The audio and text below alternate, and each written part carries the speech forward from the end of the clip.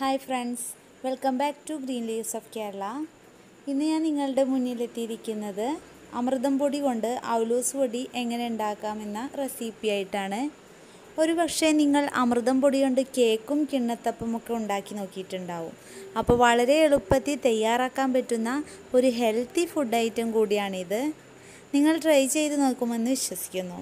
അപ്പോൾ നമുക്ക് പ്രിപ്പറേഷന് വേണ്ട ഇൻഗ്രീഡിയൻസ് എന്തൊക്കെയെന്ന് നോക്കാം. അമൃതം പൊടി അഞ്ഞൂറ് ഗ്രാമിന്റെ ഒരു പാക്കറ്റാണ് ഞാൻ എടുത്തിരിക്കുന്നത്. ചുവന്നുള്ളി. ചുവന്നുള്ളി എട്ടോ പത്തോ എണ്ണം തോൽ കളഞ്ഞ് ചെറുതായി അരിഞ്ഞു വെച്ചിട്ടുണ്ട്. നാളികേരം മീഡിയം സൈസ് ഒരു നാളികേരം പിന്നെ ഒരു നാളികേരത്തിന്റെ പകുതി കൂടി ഞാൻ എടുത്തിട്ടുണ്ട്.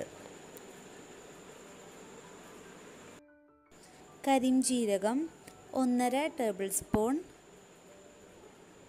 കോഴിമുട്ട ഒരെണ്ണം ഉപ്പ് ഒരു നുള്ള്. ഇനി നമുക്ക് ഇത് എങ്ങനെ ഉണ്ടാക്കുന്നതെന്ന് നോക്കാം. ഞാനിവിടെ ഒരു ബൗൾ എടുത്തു വെച്ചിട്ടുണ്ട്. അതിലേക്ക് അമൃതം പൊടിയുടെ പാക്കറ്റ് പൊട്ടിച്ച് ഈ ബൗളിലേക്ക് മാറ്റാം. ഉൾഭാഗം കുഴിഞ്ഞിരിക്കുന്ന ഒരു പാത്രം എടുക്കുന്നതായിരിക്കും നല്ലത്.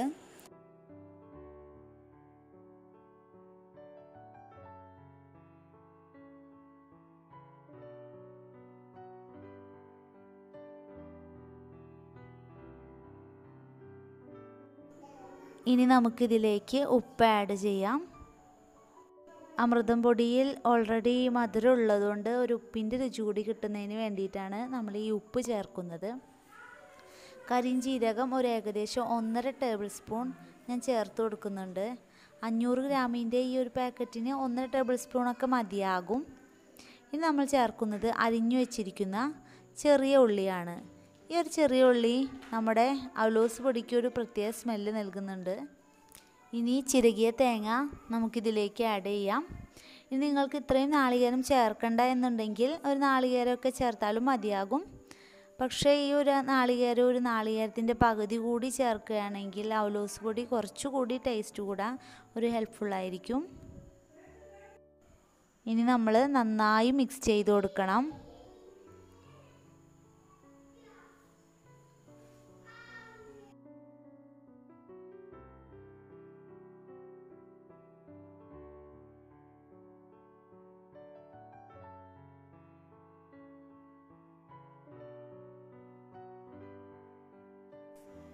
ഇനി നമ്മളിതിലേക്ക് കോഴിമുട്ട ഒഴിച്ചു കൊടുക്കുകയാണ്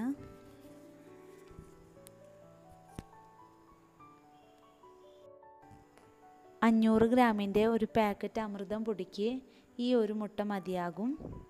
ഈ മുട്ട ചേർക്കുന്നത് അവലോസ് പൊടിക്ക് സോഫ്റ്റ്നെസ് കിട്ടുന്നതിന് വേണ്ടിയിട്ടാണ്. മുട്ട ചേർത്തതിന്റെ സ്മെല്ലൊന്നും അമൃതം പൊടി വറുത്ത് കഴിഞ്ഞാൽ ഉണ്ടാവില്ല.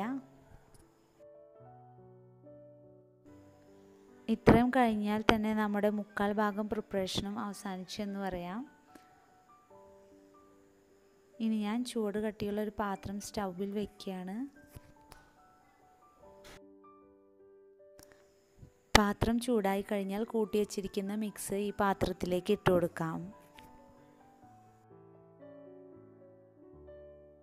ഇനി നിങ്ങൾക്ക് ഈ അമൃതമുടി നെയ്യിൽ വറുക്കുകയാണെങ്കിൽ അങ്ങനെയും വറുക്കാം.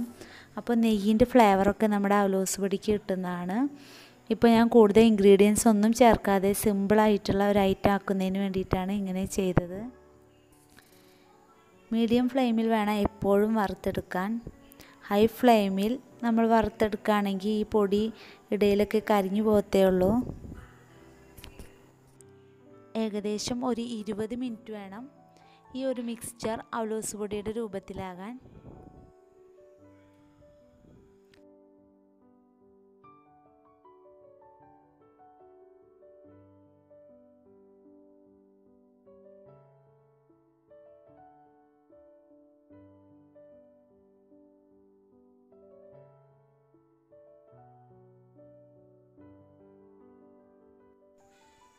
ഇപ്പോൾ നമ്മുടെ അമൃതം പൊടി ബ്രൗൺ കളറായി വന്നിട്ടുണ്ട്. ഇനി നമുക്ക് തീ ഓഫ് ചെയ്യാം. ഇപ്പോൾ നമ്മുടെ അവലൂസ് പൊടി റെഡി ആയിട്ടുണ്ട്. ഇനി നമുക്കിതൊരു പാത്രത്തിലേക്ക് സെർവ് ചെയ്യാം. ഇന്നത്തെ എന്റെ റെസിപ്പി നിങ്ങൾക്ക് എല്ലാവർക്കും ഇഷ്ടപ്പെട്ടു എന്ന് വിചാരിക്കുന്നു. ഇഷ്ടപ്പെട്ടെങ്കിൽ ഷെയർ ചെയ്യുക സബ്സ്ക്രൈബ് ചെയ്യുക ലൈക്ക് ചെയ്യുക. Thank you.